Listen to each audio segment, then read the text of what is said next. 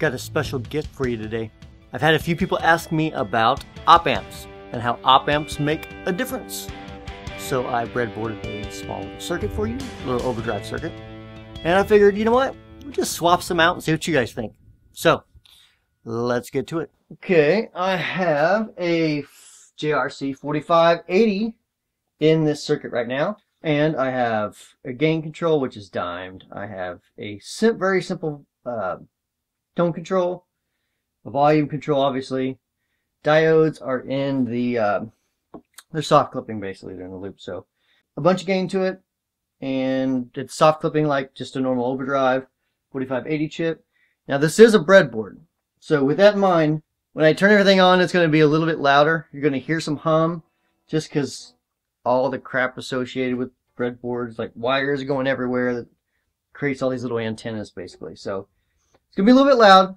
That's just part of the breadboard. Hear that? That's what I mean. So, 4580 chip.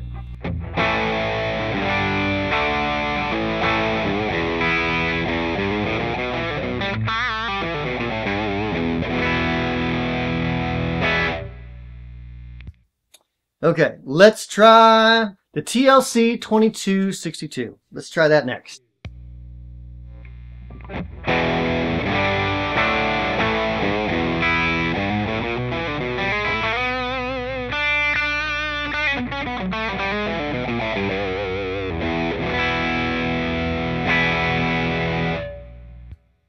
Let's go from that to the OP275.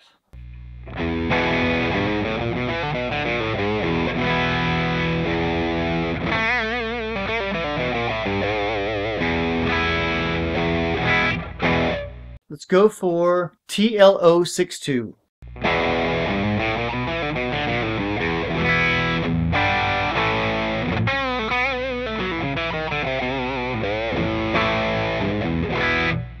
All right, that's the 062. Let's go for, um, you know what? Let's take a little venture somewhere else over in that one. This, that little, uh, gotcha. Got some different chips in that. I think I'm going to throw in an LM833. It's kind of a popular chip. I think it's in like the Shred not Shred Master. What was it? Uh, the MI Audio Distortion. Crunchbox. There you go. That's what it's called. And here we go with the 833.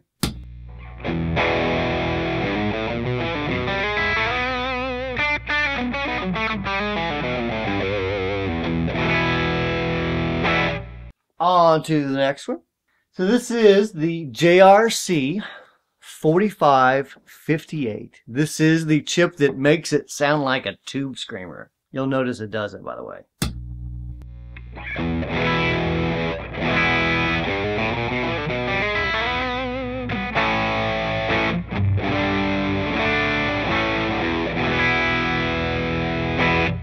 And that's the 4558. On to the next. So this is the LM358.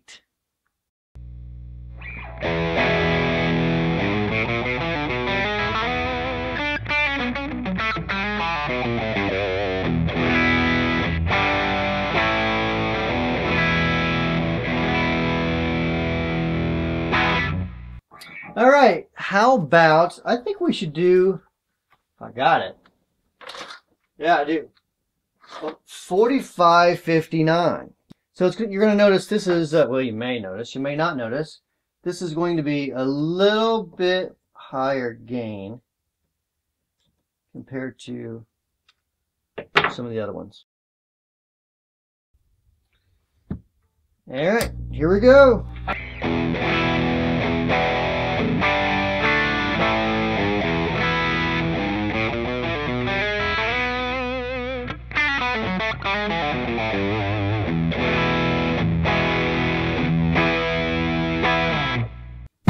Quite the drastic difference, is it? All right, and moving on. So let's get into some more of the uh, some more of the expensive chips. You know, the eight dollar ones, five to eight dollar ones. Those, those uh, elusive, you know, special sprinkled with fairy dust type of chips. Let's see. How about the how about the OPA 2604.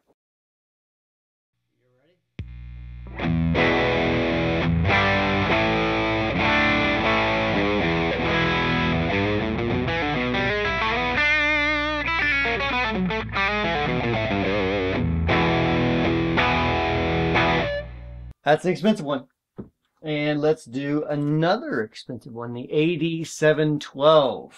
That's AD, not 80.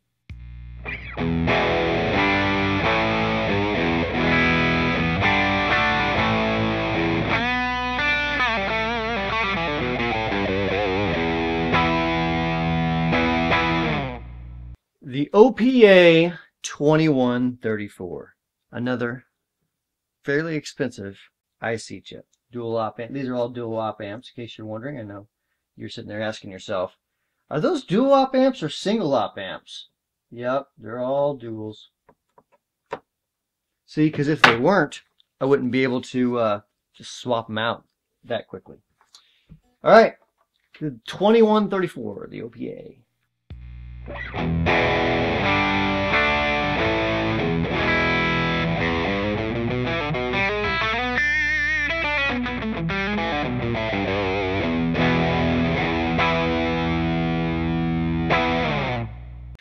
That's the 2134.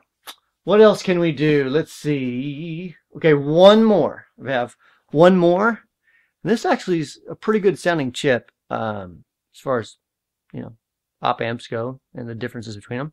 The JRC 2043 double D.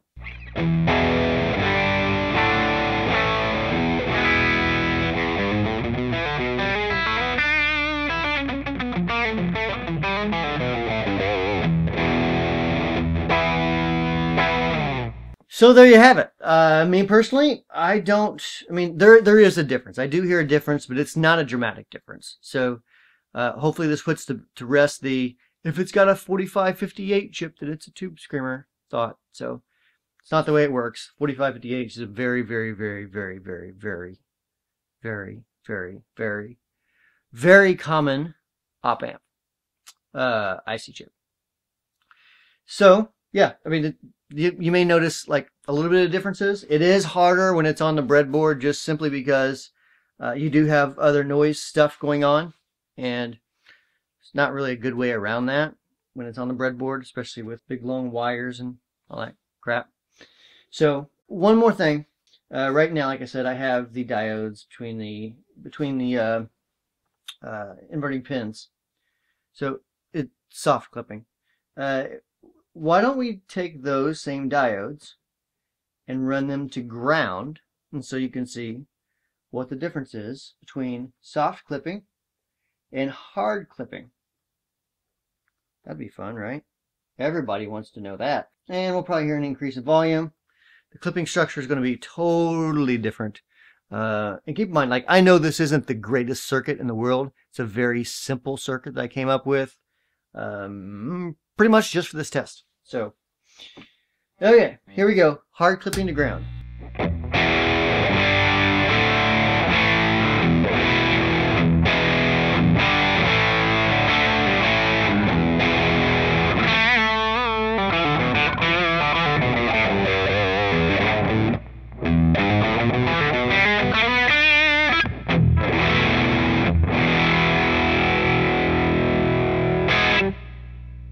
While we're here, I guess we could ask ourselves, how do different diodes sound like? I don't know. I do know, but let's see. Those were 4148s. Let's see here, okay? What do I got up now? Oh, I got some fancy pants ones. So these are 1N 192s. Fancy schmancies. Oh, man. These are uh, a little expensive as well in the hard clipping position.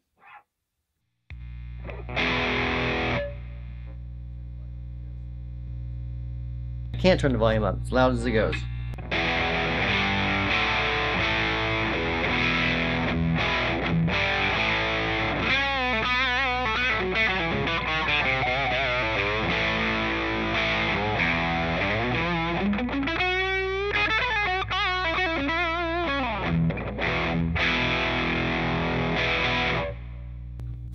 Now, if you're wondering why it's not quite as loud, that's because, uh, let's see, the easiest way to put it is more signal is getting kind of compressed and clipped, and so therefore it's not as loud. Oh, here's some good ones. The BAT 46.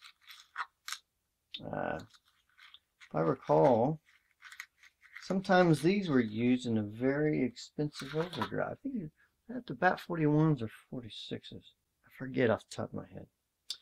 BAT 46s, hard clipping.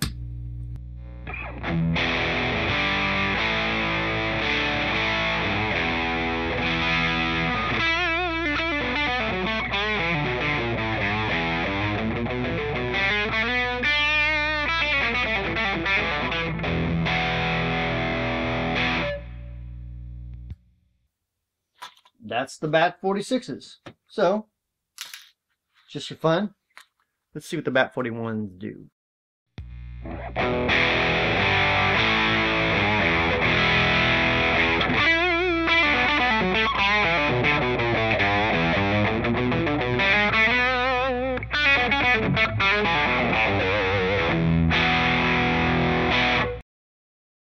Dims the 41s. Let's see, uh, let's throw some LEDs in here. All right, uh, I'm going to have to compensate for the volume on this guy because the LEDs are going to clip uh, less, let more signal through, and as a result, the op amp is actually going to clip a little more.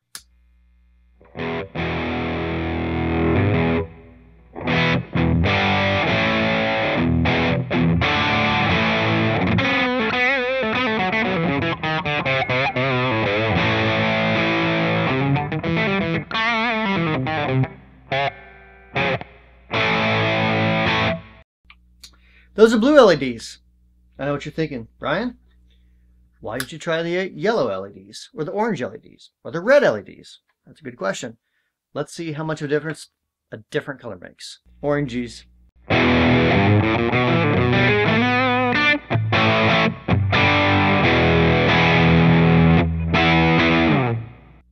Those are the oranges. And let's see. Let's throw pinks in there. All right, pink LEDs.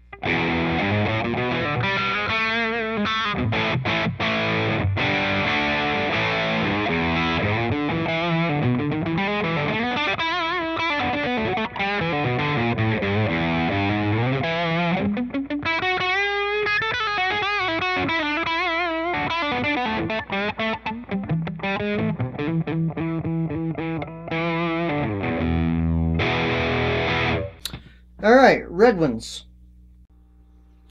Here we go.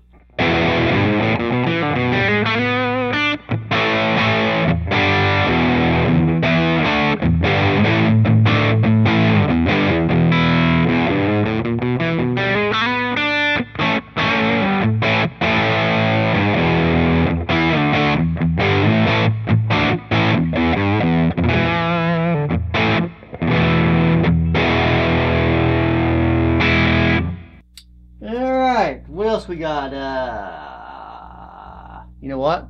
We have some germanium, 1N34As. Where are they at? Dig them out of here real quick. Ooh, got an assembly already made. All right, here goes the germaniums, uh, 1N34As.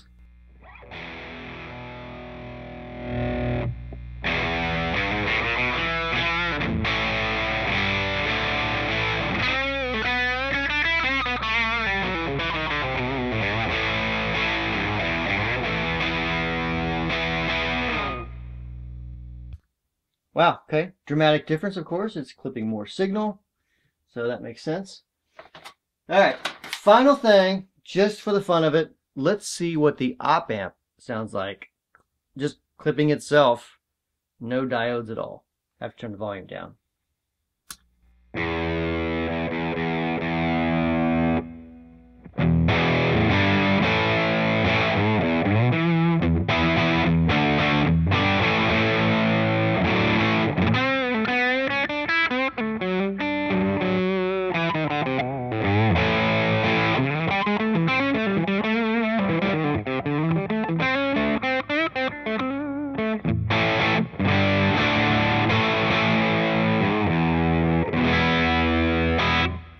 Actually think in some applications, op amps can sound good clipping, you know, just hitting the rails and clipping themselves. Um, so yeah, I think that's a cool sound too. Now you get a whole different thing. Let me find my boost. You can get a whole different sound whenever you run, um, you know, another clean boost into that and get the op amp to break up even more. So let's try that just for fun while we're throwing caution to the wind here. Okay, so I just, I basically just have a decibel plus or dB plus, and uh, it's just a straight up full frequency op amp uh, booster.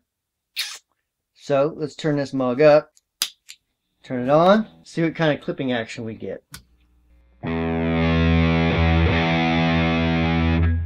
First, off.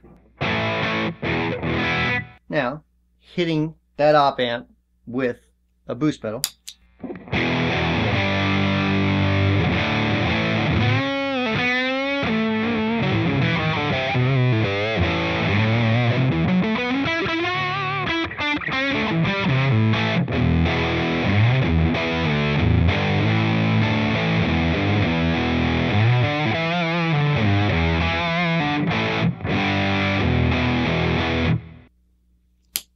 Lift it off again.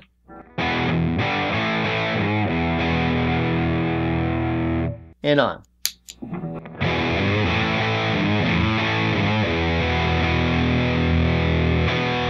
So I kind of dig it. It's almost like a fuzzy sort of thing, you know. So um, you know that's if you're like a tweaker like me, like to tweak stuff, might be something to, to experiment with. Create a new type of fuzz. Run a couple op amps into each other and see what happens. Tweak the values in between get what you want, put a cool tone control on it, and, um, you know, might be something cool. So anyways, I know this may be um, fairly dull to some of my audience. I apologize. Uh, hopefully at least got a little bit of knowledge of just how much op amps do or do not make a difference, how the diodes do or do not make a difference. I really think they do make a big difference. And um, yeah, so you know, hope hope hope you got something out of it. So if you have any questions or comments, make sure you comment below. I love hearing from you guys. If you think this is of any value, if you, like this video, if you get anything out of it, make sure you share it with people. Uh, you know, I do this for you guys. I really, I like, I don't, I'm not selling any Wampler pedals here. I'm purely doing this to help you guys out, and answer the questions that I get. So if you, if you like it, share it, and uh, we'll see you in a couple days.